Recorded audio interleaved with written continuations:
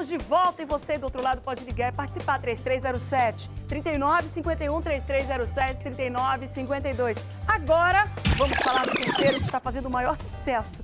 É claro que eu estou falando de Sazon. Sazon contém uma seleção de temperos naturais que deixa seus pratos deliciosos, que dá cor e sabor e o custo-benefício bem baixinho. Cada flop contém 12 sachês. Com cada sachê, você prepara quatro porções com um custo de apenas 25 centavos. É isso mesmo, com apenas 25 centavos, você prepara quatro porções e, além de tudo, é muito prático. Você, dona de casa, não precisa mais ficar cortando cebola, tomate, etc. Mas se você é uma daquelas que não abre mão dos temperos tradicionais, tem problema não, hein? Você pode usar Sazon com outros temperos. Olha só esse aqui que o Carlinhos me sugeriu hoje falar desse Sazon Saladas, para você colocar aí nas suas saladas. Coloque mais amor na sua comida, use Sazon. Sazon tem 11 sabores e você pode variar e pode repetir. 12 horas e 5 minutinhos, está aqui a nossa promoção da semana. Sabe que todos os dias aqui a gente dá notícia aqui para você que você que manda foto pro 993 993 29 6085, você vai mandar foto com Sazon e vai ganhar toda semana um kit como esse aqui, ó. Aqui dentro tem Sazon de vários sabores, tem molho shoyu, tem azeite, tem tudo que você precisa para fazer para fazer aí uma bela de uma comida, um prato muito especial. 993 29 6085. Amaral, tô só com um lado da minha leite hoje. Só um lado, só tá esse lado aqui, o outro tá dublado o negócio. E no final do mês está chegando o fim do mês.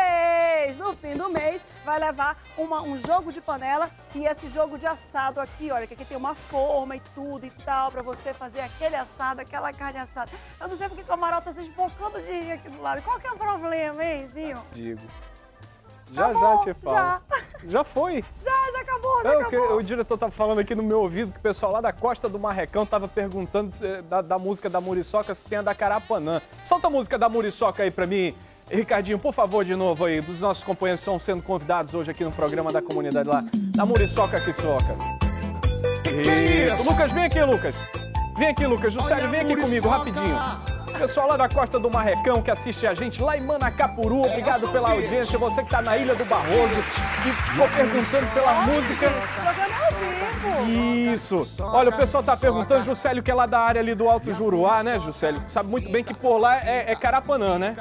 Aí o pessoal está perguntando se a muriçoca é só, o que, que faz a Carapanã? Aí eu tava pensando aqui, eu acho que a Carapanã faz an, né?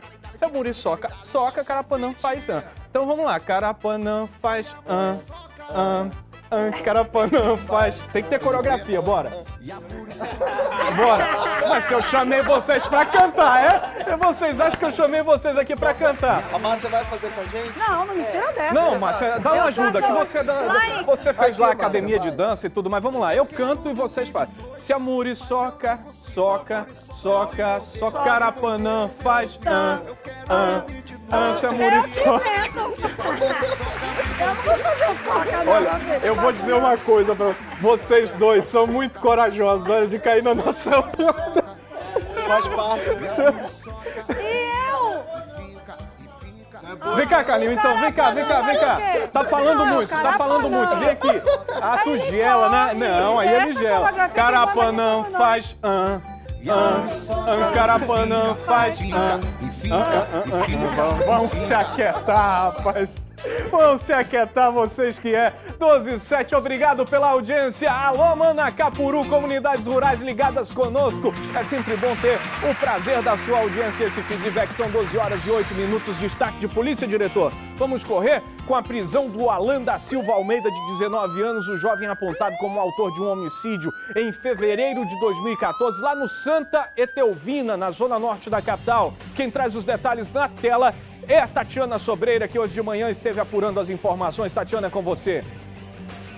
Olá, Amaral. Olá, Márcia. É, Amaral. E olha, pelo que parece, aí a sociedade ganha mais uma vez. Sai de circulação um indivíduo perigosíssimo aqui da zona norte de Manaus, precisamente do bairro Santa Teovina. Alan da Silva, conhecido como Boris, já praticava crime desde 17 anos de idade. Cinco nas costas, além de roubos. A polícia chega finalmente até ele, né? Doutor Ivo Martins, que é o delegado titular aqui da DHS, foi apresentado hoje, sai de circulação definitivamente. Isso, graças ao trabalho dos investigadores né, que compõem a equipe da Zona Norte, eles conseguiram intimar o Boris para que viesse prestar um depoimento aqui na delegacia por conta das várias passagens que ele tinha.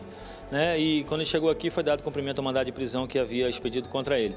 Dessa vez ele dançou aí por causa de Marcelo, né? Como é que foi que aconteceu, doutor? Bom, esse fato ocorreu, é, salvo engano, no dia 3 de fevereiro de 2014, né? O Marcelo estaria devendo, segundo consta dos autos, estaria devendo uma quantia aproximadamente de 200 reais é, relacionada ao tráfico não pagou ao, Boris e o Boris, juntamente com o cidadão ao cunhado de Caveirinha, Caveira, é, em uma motocicleta, desembarcou. O próprio, o próprio Alan desembarcou e fez três disparos, vitimando o Marcelo em via pública. A gente vai ouvir aí, Amaral e Márcia, como é que ele chega aí a falar com a imprensa e diz que não, não cometi nada. Você disse que é metalúrgico, mas procede que você também é assassino? Não, não sou. Então é tudo mentira? Não, não tenho nada para falar, não. Eu vou falar só em juízo. Tem testemunhas de que você foi autor de um dos crimes, confessa ou não? E o Marcelo te devia? Nada para falar, não, eu só. Bem, delegado, ele fala que não fez nada, mas aí está nos autos e o senhor disse que ele confessou que realmente ele matou Marcela. Sim, tem a, tem a confissão dele, a confissão dele, depoimento de testemunhas oculares que reconheceram, enfim, ele fala para poder é, tentar se eximir, mas é, o auto já está absoluto, o, o, os autos de inquérito já estão absolutamente consubstanciados. Ele tem também uma outra tentativa de homicídio que não fica a cargo aqui da delegacia de homicídio, mas além dessa ele é citado ah, na, na, delegacia de homicídio em outros inquéritos como, como suposto autor a gente está investigando essa possibilidade também. O fato é que ele está sendo preso em cumprimento ao mandado de prisão expedido pelo juiz da terceira vara do Tribunal do Júri pelo homicídio do Marcelo. Nós tivemos um fim de semana delegado agitado. Ellen Santos foi assassinada e os dois foram, estão foragidos, os assassinos, o executor. A polícia também está investigando esse caso? Sim, a partir do momento que a gente toma conhecimento né, de um crime, na medida em que a responsabilidade da delegacia de homicídios é investigar os crimes que acontecem, a gente vai atrás, né? E desde aquele primeiro momento em que tivemos a ciência, deslocamos uma equipe até o local para obter informações preliminares e já estamos em campo investigando, tá certo? É, é, e não descartamos nenhuma linha de investigação, ou execução, ou passional, estamos investigando isso tudo e a gente espera que num curto espaço de tempo dê resposta à sociedade. Mário Saboia, aí o caso Celso já foi pego e o Saul está solto, né? A polícia também está investigando no encalço. Sim, Sim, nós temos informações que o Saul fugiu num táxi Corolla branco, né? Temos já é, informações, depoimentos, inclusive, de familiares contando que ele de fato saiu da casa é, correndo, né? Pedindo que rezassem por ele. Enfim, a gente já tem informações suficientes, mas essa investigação vai ficar a cargo do décimo DIP, considerando que o fato já teve autoria conhecida, né? E eles estão apurando lá ah, perante aquela delegacia do décimo DIP. Agradeço, doutor.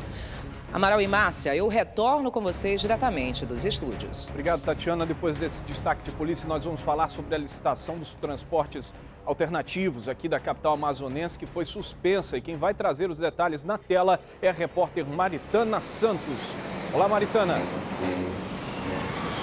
Processo de licitação foi suspenso em abril do ano passado e seria retomado hoje pela Prefeitura. Só que foi suspenso mais uma vez, agora pela juíza Kathleen dos Santos Gomes. A decisão foi com base na antiga suspensão revertida na semana passada pela Prefeitura. A SMTU foi surpreendida. Prefiro não comentar a decisão da juíza, eu, tô, eu tenho que cumprir e o nosso setor jurídico vai é, fazer a defesa, a contestação. O edital, que seria publicado hoje no Diário Oficial, foi suspenso. A ideia era legalizar o transporte, com 120 vagas para o executivo e 200 para o alternativo, que agora vai ter que esperar mais um pouco.